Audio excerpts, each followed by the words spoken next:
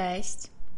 Bardzo dawno nie nagrywałam niczego sama, także powiem Wam, że dla mnie jest to e, teraz taka wyjątkowa chwila, ponieważ z jednej strony, właśnie tak jak mówię, dawno nie nagrywałam nic sama, e, z drugiej brakuje mi nagrywania sama, z trzeciej mam mnóstwo tematów, które mogę omówić znacznie szybciej niż e, w pół godziny, e, tak jak było do tej pory bardzo często, więc w tym momencie, tak jak e, też jeszcze jakiś czas temu, jak zastanawiałam się nad tym, czy w ogóle wprowadzić tego typu formy podcastu, uznałam, że jest to chyba jedyna możliwa w tym momencie opcja, też ze względu na to, że ja po prostu mam strasznie dużo pracy. E, mnóstwo swojego czasu poświęcam w tym momencie po prostu na współpracę z podopiecznymi, e, a żeby ich nie zaniedbać i nie zaniedbać Was, po prostu muszę to jakoś pogodzić. E, I z tej okazji będą takie krótkie formy się pojawiały.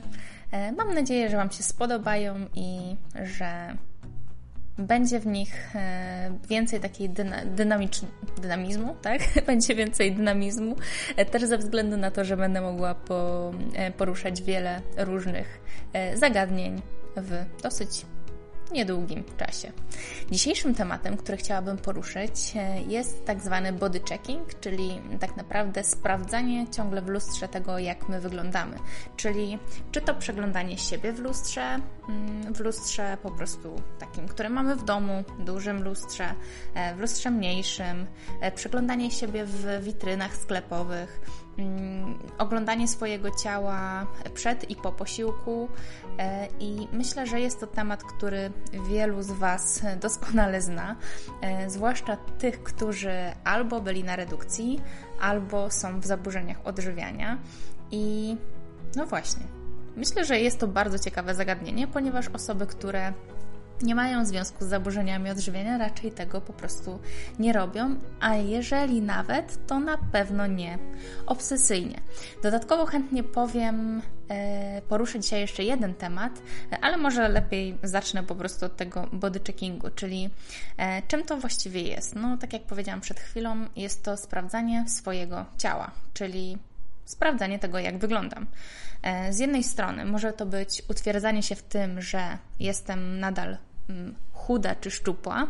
E, z drugiej strony może być to sprawdzanie, e, czy na pewno jestem e, wystarczająco chuda czy szczupła. Używam słowa chuda tylko w kontekście takim, jaki bardzo często powiązany jest z anoreksją czy bulimią anorektyczną, gdzie po prostu część osób do tego dąży. Nie żeby być szczupła, tylko żeby być wręcz właśnie chuda.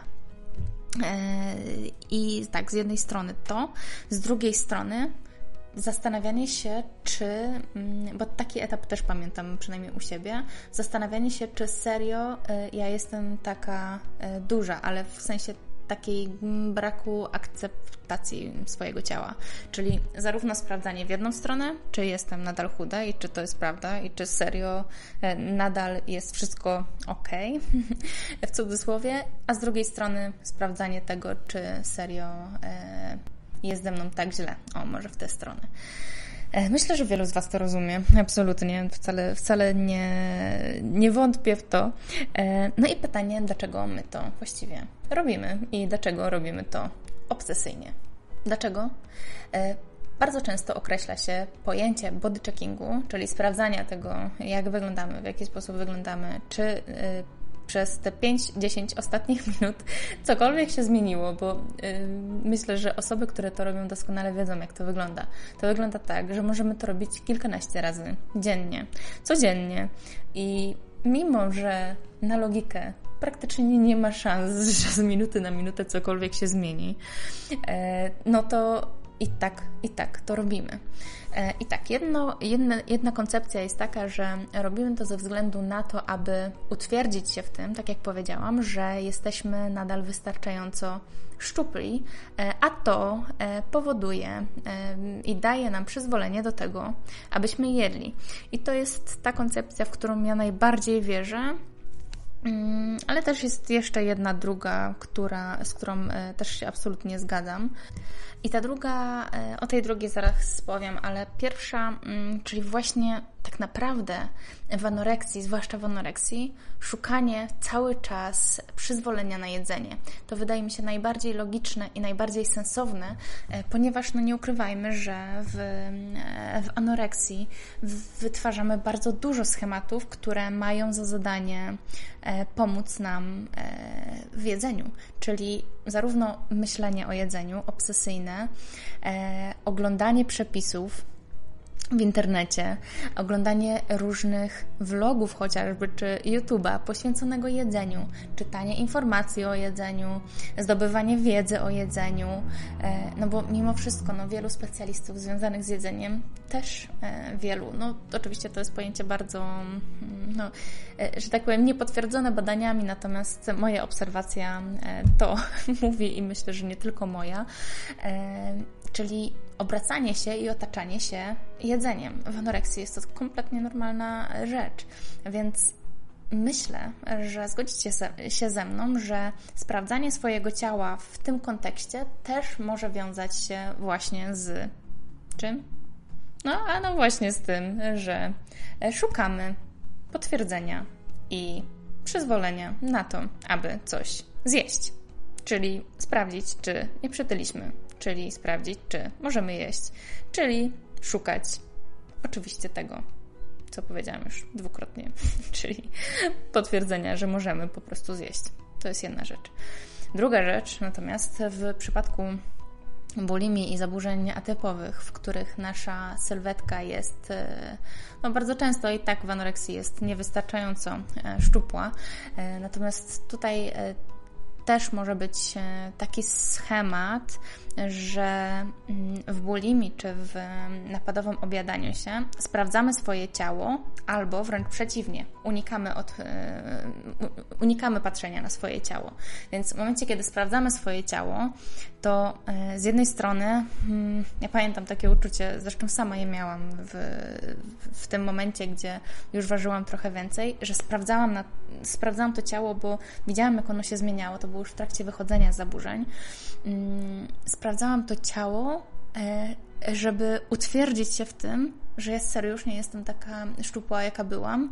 I z jednej strony mnie to dobijało, bo odbierało mi e, to przyzwolenie na jedzenie, a z drugiej strony ja bardzo chciałam sama siebie już utwierdzać wtedy w tym, że to jedzenie jest mi po prostu potrzebne, ale ten nawyk został i zostało też to, że e, ja zauważałam, że to ciało się zmienia i bardzo trudno było mi się po prostu do tego przystosować. I to też jest w pewnym sensie normalne, e, ale właśnie to, e, ta druga, mm, druga kwestia, kiedy my zaczynamy się zmieniać, nasze ciało zaczyna się zmieniać, może dążyć do tego, co powiedziałam przed chwilą, czyli może dążyć do tego, że my przestajemy albo unikamy patrzenia na swoje ciało, czyli unikamy konfrontacji z lustrami, E,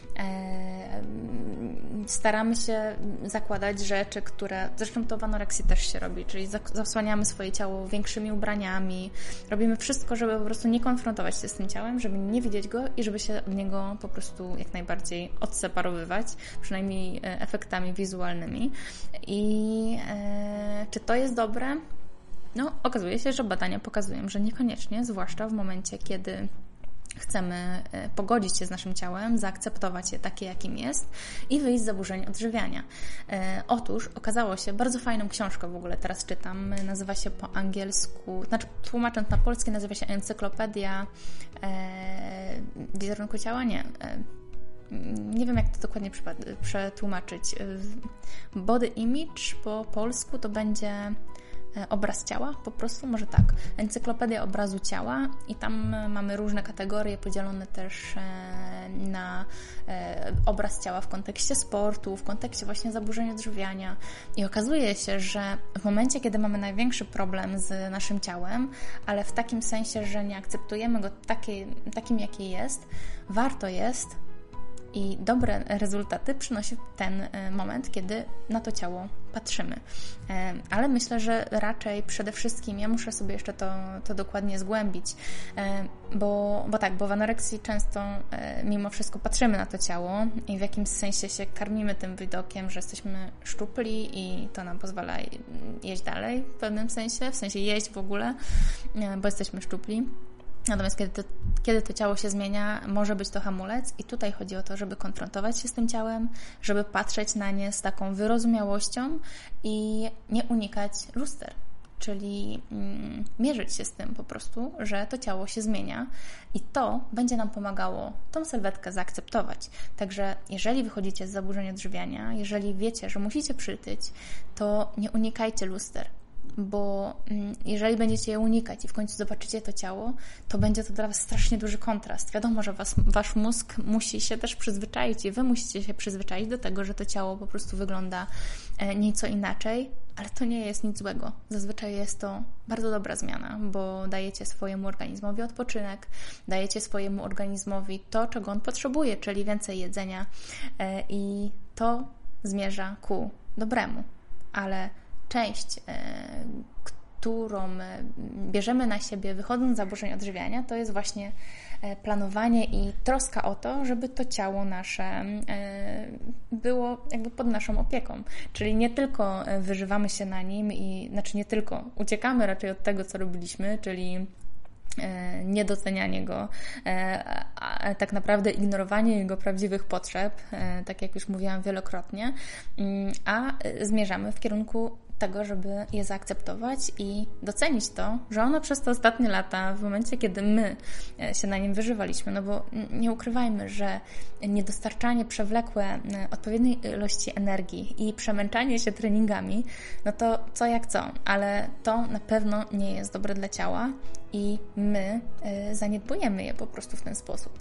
W tym momencie musimy je zacząć doceniać i elementem, który Mm, myślę, że jest bardzo, bardzo istotny, jest to, aby właśnie konfrontować się z tym, jak wygląda to ciało i mm, eksponować, w sensie robić ekspozycję na to, jak wyglądamy, czyli nie uciekać przed lustrami, nie gasić światła, kiedy się kąpiemy. Zacząć robić różne rzeczy, które mogą nas do tego ciała zbliżyć, czyli zacząć dbać o to ciało i pokazywać mu nie tylko dietą, nie tylko treningami, wręcz przeciwnie, innymi e, elementami, takimi jak peelingi, takimi jak e, masaże, tak? Jeżeli, jeżeli możemy udać się na masaż, no teraz może w dobie koronawirusa niekoniecznie, e, ale różnymi zabiegami, które po prostu nas do tego ciała przybliżą i też pokażą nam, że nie musimy z nim czekać, nie musimy go ukrywać, tego naszego ciała, a wręcz przeciwnie, jest to e, nasze narzędzie do obcowania ze światem.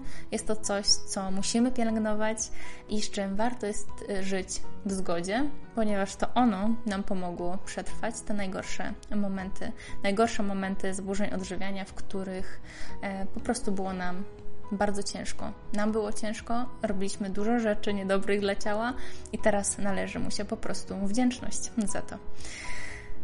No, E, także to chciałam Wam powiedzieć. E, body checking zazwyczaj po prostu wynika z niedożywienia i z tego, że nasz organizm szuka możliwości i szuka dalej kolejnych sposobów na to, abyśmy jedli. Więc my to robimy.